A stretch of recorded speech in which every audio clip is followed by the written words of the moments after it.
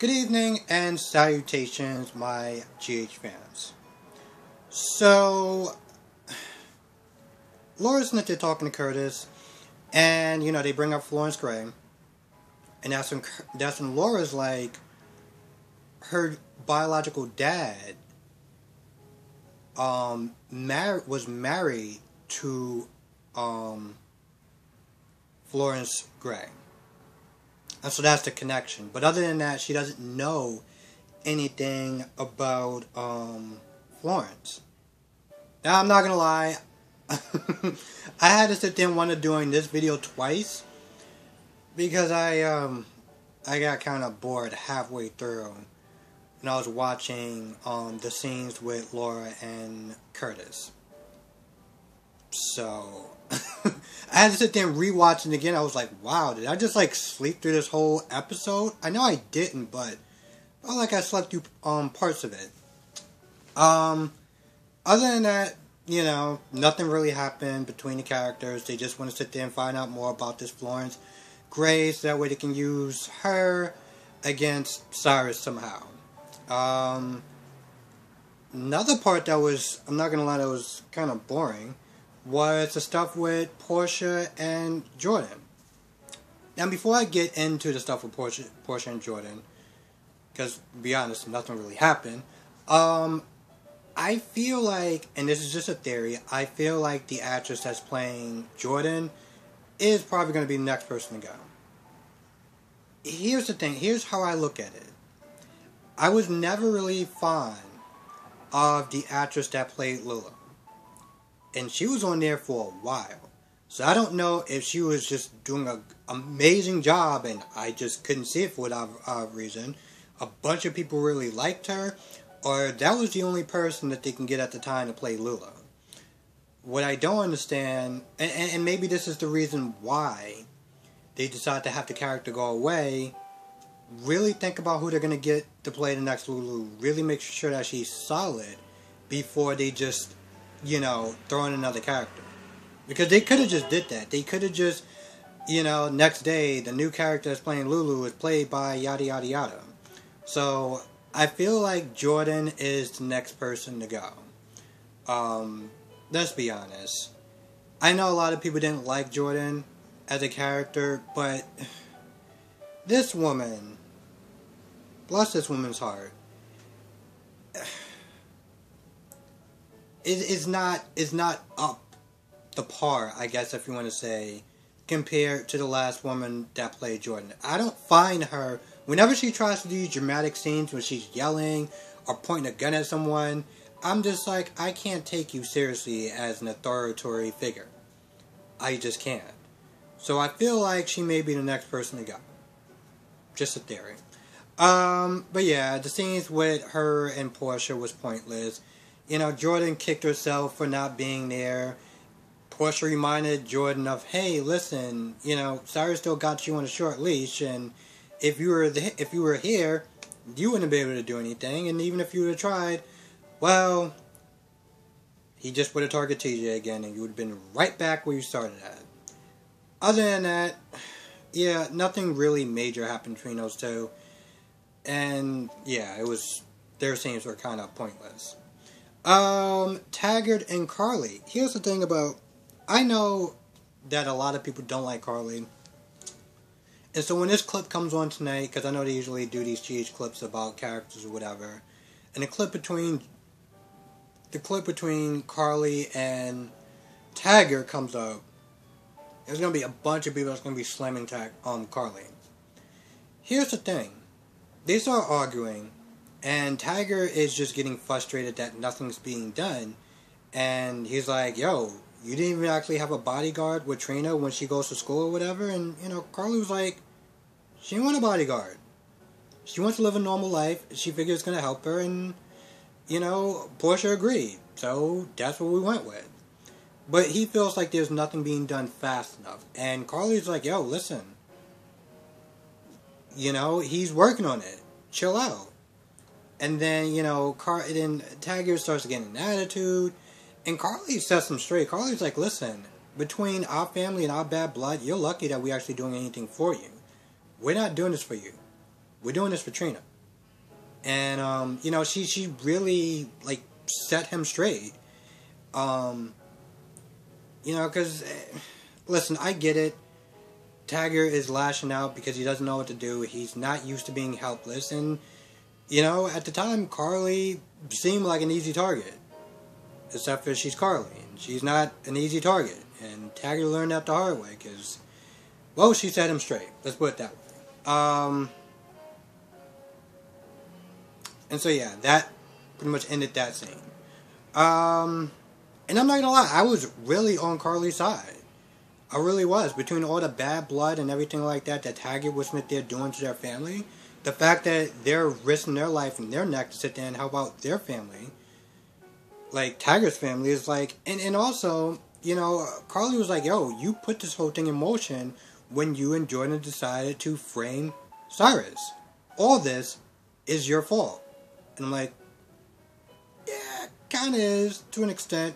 I mean, let's be honest. Somebody's always going to sit there and come at Sonny. Um, and it was only a matter of time, even if they didn't put him behind bars, there's only a matter of time before, you know, Sonny came up on Cyrus's radar. So I don't know exactly how much of it is actually um, Taggart's fault, but whatever. Um, what else? So while Martin is at you know, his office or whatever. Julian tries to sneak up behind him, and of course he gets pepper sprayed. You know, it's amazing. This guy, Julian, must be like, I don't know, damn near invincible.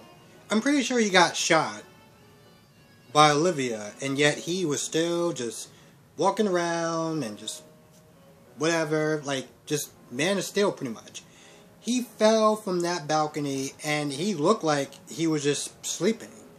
I'm sitting there thinking, so you must have broke some like legs or toe or paper cut or something. This guy is just walking around, get ready to sit there and try to sneak up on Grey. I'm like, okay. So, long story short, Julian's like, you're gonna get me out of town.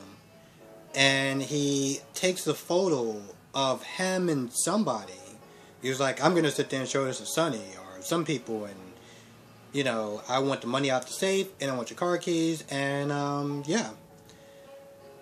And then you know, Martin Grey tries to be like, hey, listen, I got this letter from you know, from Nelle saying that you're involved in all this stuff with you know, Sonny's grandkid.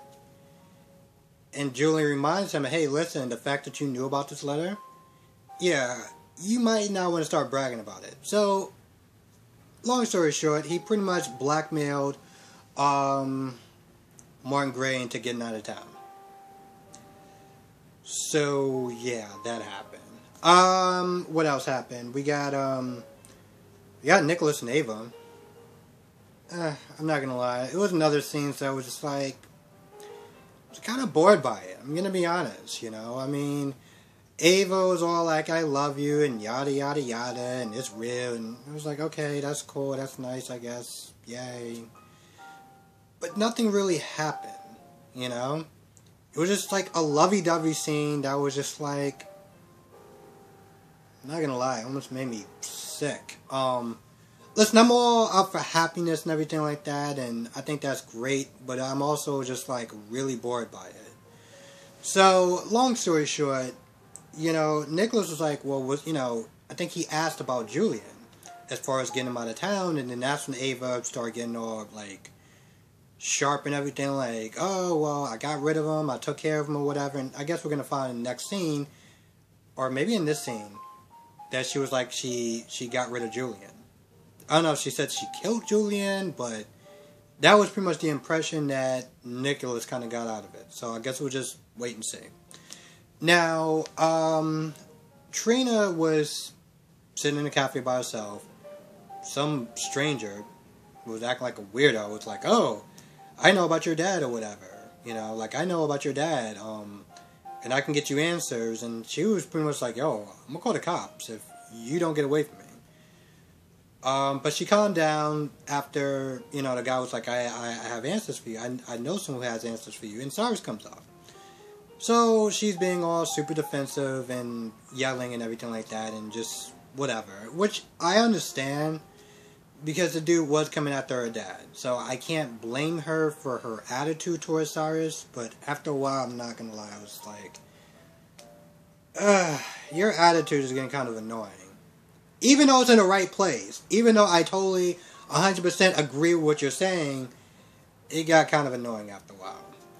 But, um, you know, Cyrus was able to calm her down. It was like, your dad's still alive. I don't know where he's at, but, you know, yada, yada, yada, yada, yada. Um, I, and by yada, yada, yada, I mean, like, he was trying to be all good guy and noble and everything like that. I was like, okay, Cyrus, sure.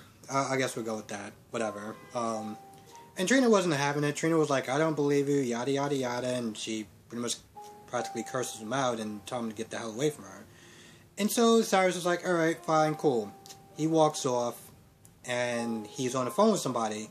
And pretty much what he's doing is he's using Trina to find Taggart so he can kill him. For real this time. Um, and I'm not gonna lie, I did kind of laugh a little bit. Um, you know, Cyrus is is a villain. Okay, he took out a bunch of people that didn't have anything to do with Jason. You know, this guy doesn't have a moral code. He doesn't seem like he really have morals at all. Um, and I guess that's what you can expect from a villain. So it's like I can't really, I can't fully like I like the fact that he's a villain that he just doesn't care about anybody. Like collateral damage be damned. But I can't sit there and fully be like, you know, yay, Cyrus, you know. But at least he's a villain that seems like he's going to stick around because he, again, he doesn't care about collateral damage. He doesn't have a moral code like Sonny does. Like, Sonny wouldn't do something like that. Sonny wouldn't do something like that. Alcazar, Alcazar would do something like that. And I really like Alcazar, but he would do something like that. So, whatever on that. Um, what else happened? And the last scenes that I'll talk about is Sonny and Jason. So, before Cyrus went to go visit Trina, he went to talk to Sonny and Jason. And he pretty much threw Julian under the bus. And was like, Julian's your guy, go after him. Um, and then he walked off and he left. And Sonny and Jason are sitting there talking about the best way to sit there and deal with Cyrus, and they realized that you know, Cyrus left enough room between Julian and him. This way, you know, they can take care of Julian for him. Cyrus is actually pretty smart. The guy, again, has no moral code whatsoever, but he's pretty, he is smart. Instead of killing Julian himself, he's gonna get Sonny to do it for him. And so, you know, Jason and Sonny are, I mean, Jason and Sonny are they're trying to come up with the best ways to sit there and take out Cyrus. And, um, you know, Jason's like, listen, there's a lot of people that have survived from that cliff before. So, you know, Julian may still be alive, and Sonny's all like, you know, if he's alive, then I'm gonna kill him, and yada yada yada. I'm not gonna lie, I don't really think they said much of anything that, was important besides that. And I love Sonny and Jason, but I just felt like besides the interaction with Cyrus and throwing Julian under the bus, everything else was somewhat pointless. You know, they realized that, you know, they're like, oh, well, Ava, you know, Ava isn't sitting there hiding Julian. So, they're pretty much back to square one. So at that point, it was like, I'm not gonna lie, I, I somewhat. It's not that I fell asleep when I was sitting there watching Jason and Sonny. I was just like, okay, okay. I'm not even taking notes at this point because there's no point. Um, and that's, I think that's actually about it. I don't think I really missed anything that was too crucial. At least anything that I can think of. Um, everything else is just kind of fluff. I'm going to be honest with you. Um, we know that Julian is alive and extremely healthy for somebody who fell off a damn. Okay, whatever. Who. I just. I can't get over that. He wasn't even limping. Okay? This guy didn't even have so much as a paper cut. whatever. Um, I'm just wondering when is when is um Julian's last um scenes, or is the actor's last scenes? I don't know. I don't know if the characters. I don't know if the character is going to be gone or just the actor or just the actor. Um. But yeah, other than that, I guess this was a lot of fluff. Um, nothing really significant happened, and this is the reason why I'm just like, yep. So I guess we'll find out more tomorrow, because tomorrow's Fridays, and they always call it Cliffhanger Fridays, which is weird. I'm not gonna lie. I feel like sometimes cliffhangers, Cliffhanger Fridays is true, but I feel like sometimes all the stuff doesn't start to go down until like Monday or Tuesday when you start cliffhanging stuff. At least that's how it was. Anyway, with that being said, that was pretty much about it. Just pretty much an average episode, I guess. Um, thank you for watching. Let me know what your thoughts are on this episode. And um, I will catch you in the next video. And by the way, um, if you could share this video, that would be really helpful. And um, yeah.